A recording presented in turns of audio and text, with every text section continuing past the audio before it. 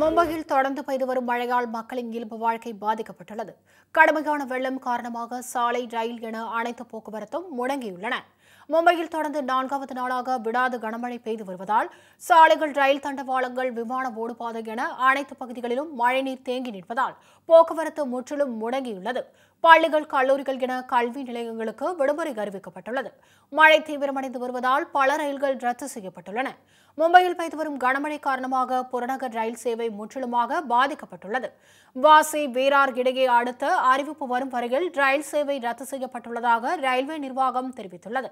இதற்கிடையே கிரேட்டர் மும்பை தானே ராய்காட் மற்றும் பால்கர் மாவட்டங்களில் இன்று முதல் பதிமூன்று வரை கனமழை தொடரும் என வானிலை மையம் தெரிவித்துள்ளது.